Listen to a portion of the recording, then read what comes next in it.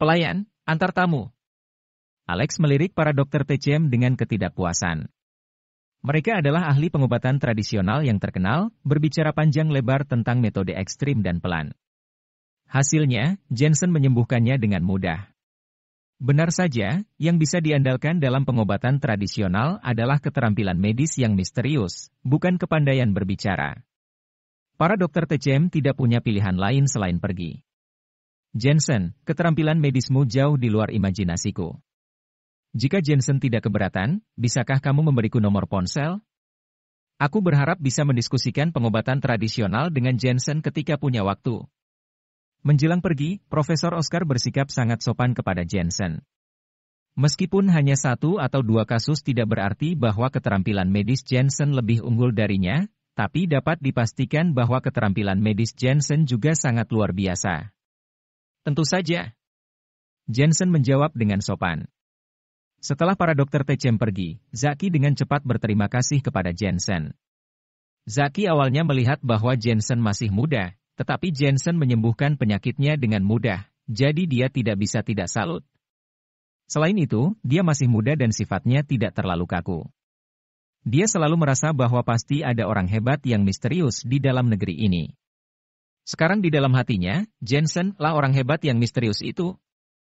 Ketika Alex melihat putranya sembuh, dia ingin menahan Jensen untuk makan malam di rumah, tetapi Jensen menemukan alasan untuk pergi, dan meminta Zaki untuk mengantarnya sendiri. Tuan Alex, aku juga ikut antar Jensen. Setelah melihat ini, Markus berpamitan dengan cepat.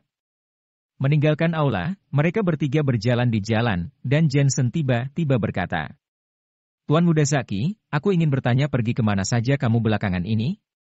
Sebenarnya, tadi ada Alex, jadi dia tidak sembarangan bicara, tetapi dia tahu bahwa angin jahat masuk ke tubuh Zaki karena dia bertemu roh jahat. Zaki menggelengkan kepalanya. Aku tidak pergi ke mana pun. Lihatlah liontin batu giok di lehermu. Jika aku tidak salah tebak, liontin batu giok ini diminta dari kuil Dharma, dan sekarang sudah retak. Jensen berkata dengan datar. Begini ceritanya, lidahmu bermasalah karena diganggu roh jahat, Liontin Giok ini telah mencegah kamu dari satu musibah. Jika tidak, tidak hanya lidahmu yang bermasalah. Apa? Zaki terkejut, mengambil liontin batu giok dan melihatnya, benar-benar ada retakan. Zaki, ada beberapa hal yang lebih baik dipercaya. Markus berwajah masam. Dia merasa bahwa Jensen sepertinya menyembunyikan sesuatu sebelumnya, dan sekarang tampaknya memang benar, terutama ketika bicara terganggu roh jahat, dia juga menggigil, dia sering bersentuhan dengan barang antik dalam bisnisnya, dan beberapa barang adalah objek pemakaman yang tidak sedikit hawa negatifnya, jadi dia juga percaya pada hal semacam ini. Katakan saja. Jensen tahu bahwa apa yang ditemui Zaki adalah sesuatu yang luar biasa. Jika dia menyimpannya, maka diperkirakan semakin banyak orang yang akan menderita. Dia adalah seorang dokter, tidak hanya memiliki misi menyembuhkan penyakit, tetapi juga memiliki tanggung jawab untuk membantu orang lain. Zaki tidak berani menyembunyikannya. Aku pergi ke gedung asrama di universitas kami. Ada seorang siswa yang melompat sampai mati di gedung itu, dan kemudian hal-hal aneh sering terjadi. Misalnya, beberapa orang pergi ke kamar mandi di tengah malam, melihat bayangan putih melayang, dan beberapa orang melihat wajah tersenyum di langit-langit ketika tidur. Sekolah menyatakan bahwa gedung asrama itu terlalu tua dan itu adalah bangunan yang berbahaya. Kemudian semua orang pindah ke gedung asrama yang baru, dan gedung asrama yang lama ditinggalkan begitu saja. Bicara sampai sini, semua orang pada umumnya mengerti apa yang terjadi.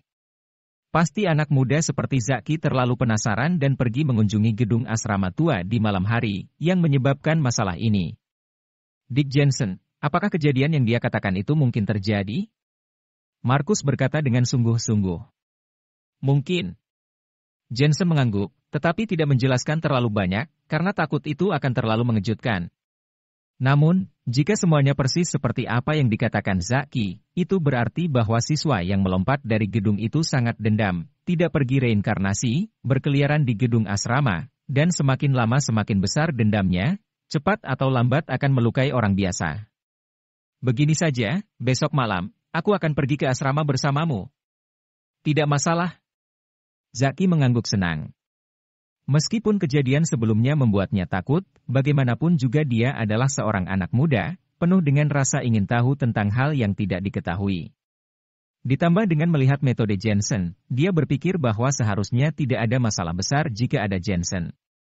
Jensen tersenyum dan berkata, Sebelum pergi, aku harus menyiapkan sesuatu, Tuan Muda Zaki. Apakah kamu tahu di mana ada pasar batu giok di kota Asmenia? Ada banyak pasar batu giok di kota Asmenia. Giok apa yang kamu cari? Aku akan minta seseorang menyiapkannya untukmu. Markus juga ingin Jensen menyiapkan beberapa liontin pelindung untuknya, karena setelah beberapa kali kontak, dia sudah yakin Jensen adalah orang hebat yang misterius. Pak Markus, aku punya teman yang keluarganya adalah pemilik pasar batu giok, aku ajak kamu ke sana saja. Zaki bagaikan sangat takut Markus akan mengambil jasanya, jadi Markus hanya bisa terus menggelengkan kepalanya dan terpaksa mengalah. Boleh, kamu telepon aku besok.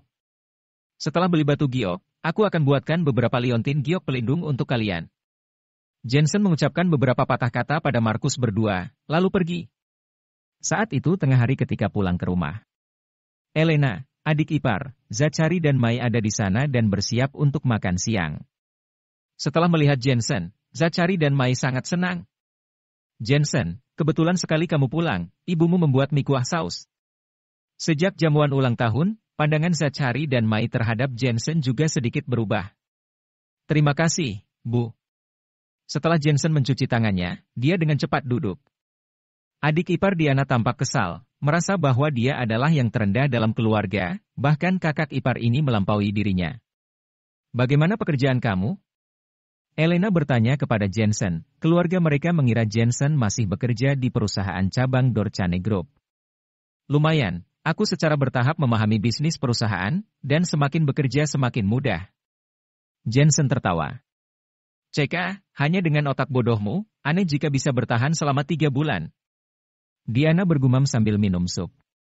Diana, apa yang kamu bicarakan, dia adalah kakak iparmu, apakah ada orang yang mengutuk orang lain seperti ini?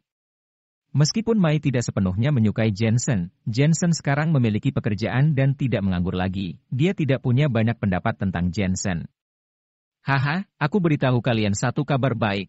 Kontrak antara perusahaan kami dan grup Vites akan segera diputuskan. Pada saat ini, Zachary tertawa lebar. Ayah, sungguh? Kamu sudah sibuk selama lebih dari setengah tahun demi kontrak ini.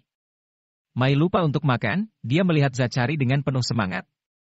Tentu saja, setelah penilaian enam bulan penuh, grup Vites sangat puas dengan kualitas pembuatan baja, sumber daya keuangan, dan teknologi perusahaan kami.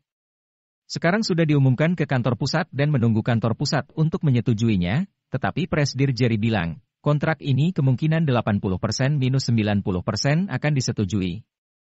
Zachary mengangguk sambil tersenyum. Grup Vites? Jensen tidak terlalu akrab dengan bisnis Zachary hanya tahu bahwa itu terkait dengan baja. Grup Vites adalah perusahaan pertambangan terbesar di kota Asmenia. Pesanan mereka setidaknya bernilai puluhan miliar. Jika kontrak ini berhasil, perusahaan ayah tidak perlu khawatir tentang keuntungan setidaknya selama beberapa tahun. Elena menjelaskan, tapi, bisnis grup Vites sangat besar, itu didukung oleh grup Dorchane Pusat. Seluruh industri baja di kota Asmenia ingin bekerja sama dengan mereka, tetapi grup Vites selalu memiliki persyaratan tinggi.